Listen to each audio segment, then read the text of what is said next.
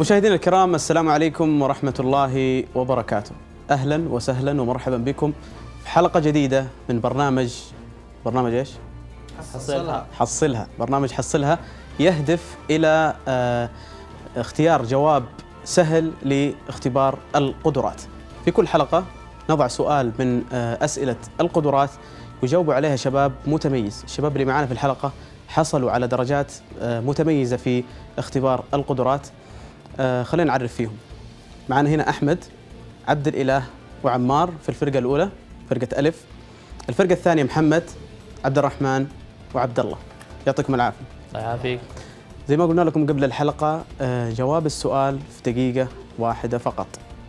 بمجرد انتهاء طلحة من طرح السؤال راح يبدأ العد التنازلي للحل. السؤال يقول ما العدد الذي مربعه يساوي ضعفه؟ بأين السؤال سهل؟ رغم سهولة السؤال مثل ما يقول طلحة لكن واضح أن روح الحل الجماعية مسيطرة على المجموعتين في الحل. جاهزين؟ جاهزين أبدأوا في الجواب.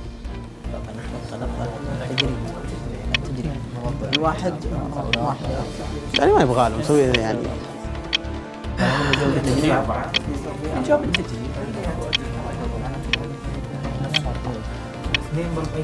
اثنين ضرب اثنين أربعة. جاوبتوا ما شاء الله؟ ما شاء الله تبارك. معكم ولا حاسب ولا شيء؟ ها؟ الشباب. ضرب. دقيقة بتنتهي. طبعا قبل انتهاء الوقت انتهى الشباب من الحل. خلي الدقيقة تنتهي. أبغى الدقيقة تنتهي. لكن طلحة مصر أنه يكمل الدقيقة. يعطيكم ألف عافية. الشباب ما شاء الله تبارك الله انتهوا من إجابة السؤال قبل الدقيقة المعتبرة الدقيقة اللي آه، وضعها اختبار قدرات أو اللجان اللي آه، ماسكة اختبار القدرات لكل سؤال. يعطيكم ألف عافية. الله يعافيك.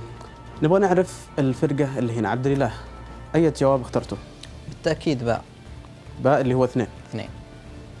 الفرقة الثانية عبد الرحمن؟ نفس الجواب الجواب باء. باء. إيه. طيب مشاهدينا الكرام نشوف الحل اللي أخذناه من متخصص في اختبار القدرات. الإجابة كانت في الخيار باء اللي هو الرقم اثنين.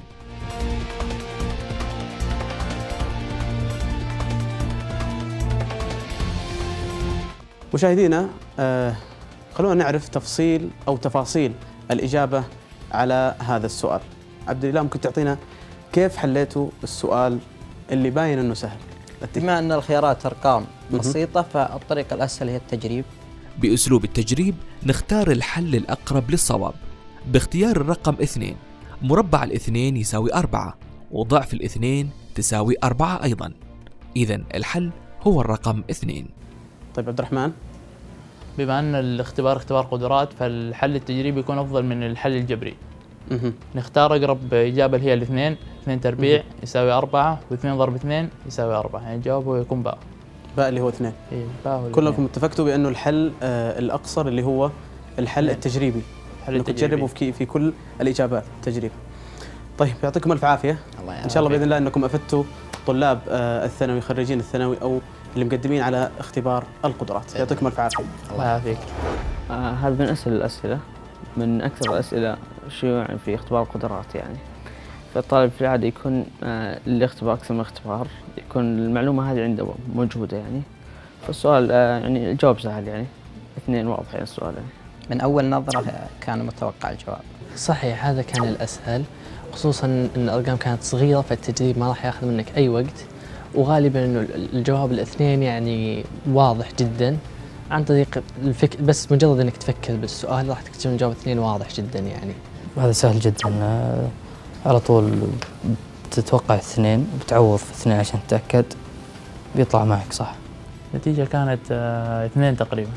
السؤال فكرته سهلة؟ العدد يعني كان عندك طرفين عدد آه، مربعه يساوي ضعفه ضعف يعني اثنين. فعن طريق إنه الإكس تربيع مثلا لو عوضنا بمتغير المتغير إذا كان تربيع فضعفه لازم يكون نفس العدد. الضعف اثنين فاثنين نفسه راح يكون تربيعه بعد. مشاهدينا نراكم في سؤال آخر وفي حلقة جديدة. السلام عليكم ورحمة الله.